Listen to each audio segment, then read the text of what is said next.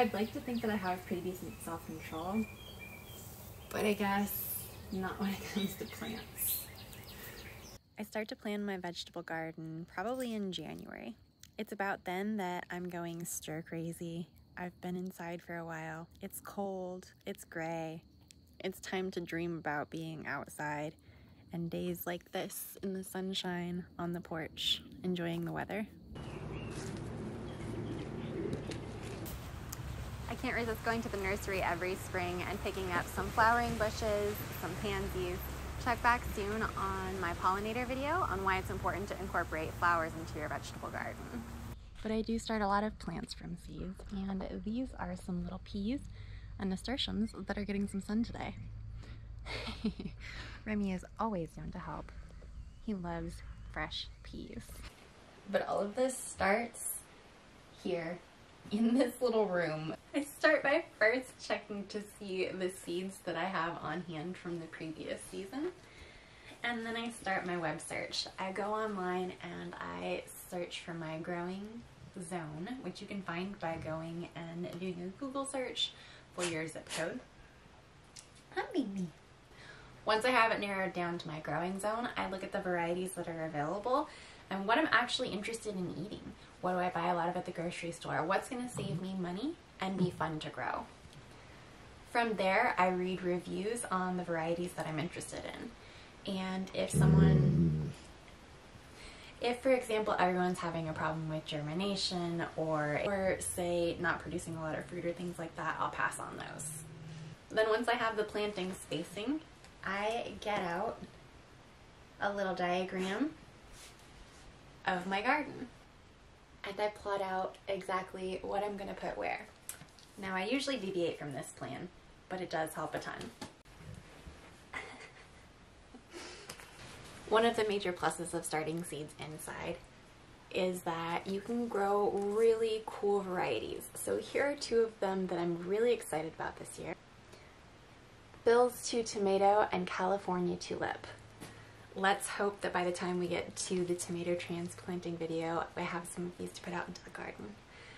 But the point of that is, this one in particular is 10 seeds for, I want to say around $5. Think about the cost of buying a tomato plant from the nursery. Something like this, this little baby, itself is going to cost more than $5. And I can tell you that you're probably not going to find cool varieties like that, at least not at my local grower. You also get a few tries at something. So not every single variety that I'm interested in growing sprouted the first time, so I have a chance to resprout those. Seed packets have lots of information on them. So on this one in particular, it is the California Tulip Tomato. And at the top, you can see a little description of the plant itself. And, along the side, it has how long it's going to take to germinate, the ideal soil temperature for it, the seed depth, the planting space, if it's frost hardy, and how much sunlight it needs. In the planting instructions, it's going to tell you, for example, on this one it says start indoors 6 to 10 weeks before last frost. Heat mat helps to warm soil and speed germination. You can see I have that right here under these seedlings. That's really helpful with things like hot peppers that needed a little warmer to get sprouted. Now, like I said, I've been doing this for about 10 years now and there's been a lot of trial and error, so here are some of the things that I have found to be really helpful. These seed starting trays that have the little cells that can go down into a basin so that you can bottom water are really helpful in getting the roots to go down. I also have humidity domes to go with them. The humidity dome is going to help with germination rate too. Lighting is really make or break when it comes to seedlings. You're doing a substitute for the sun, so try out different brands, varieties, rigs, whatever you need to do until you find what really works for you. Some other things that I have that are optional but really nice. A humidifier. I like to take the humidity domes off of my seedlings right away so that I can get them a little bit closer to the light. And since I'm starting my seedlings inside in January, February, March, when the heat is still running inside my house, the air temperature or the air quality is a little drier.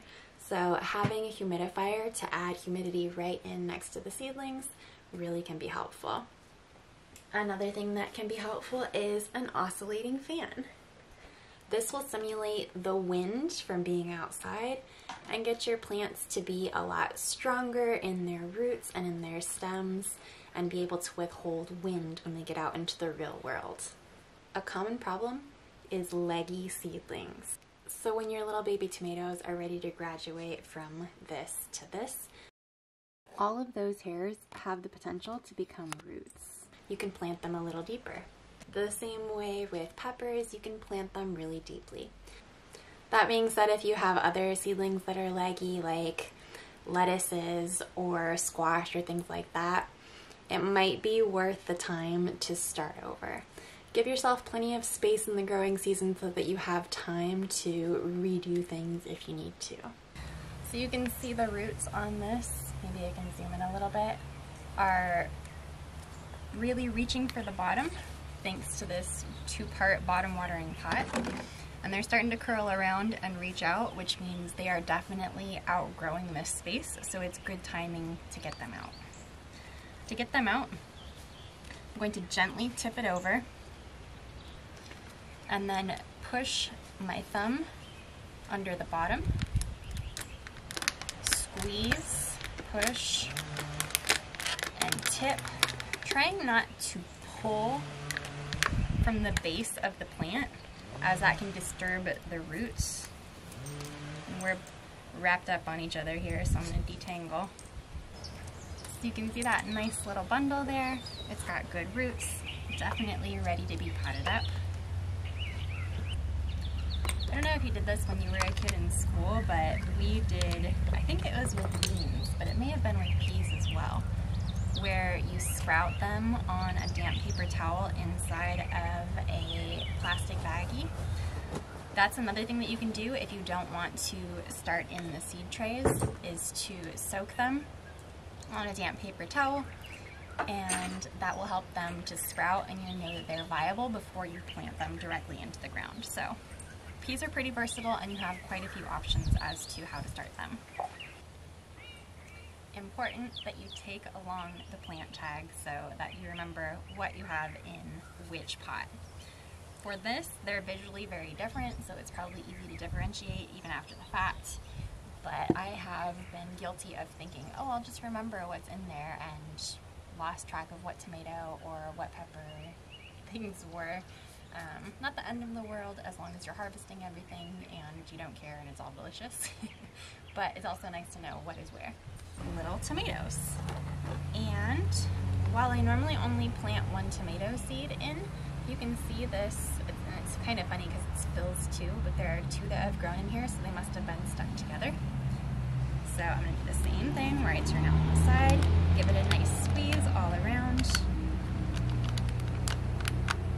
Give it a little push. We've got some roots that are growing out the bottom, so I'm going to be mindful of that. And gently come out. Since this is a backup, I'm going to go ahead and thin one of these. So this one has a little extra set of leaves and looks like a little bit of a wider base. So I am just going to, and it hurts my soul to do this, I'm going to just pluck this one out. And this one can get planted in really deep. Don't forget your seed marker. Now that little guy is in there nice and deep and will have lots of extra roots when the time comes to transplant into the garden. Be sure to check back soon for my next video in which I'll be talking about direct sowing seeds into the garden and transplanting all of these wonderful seedlings that we've started into the ground.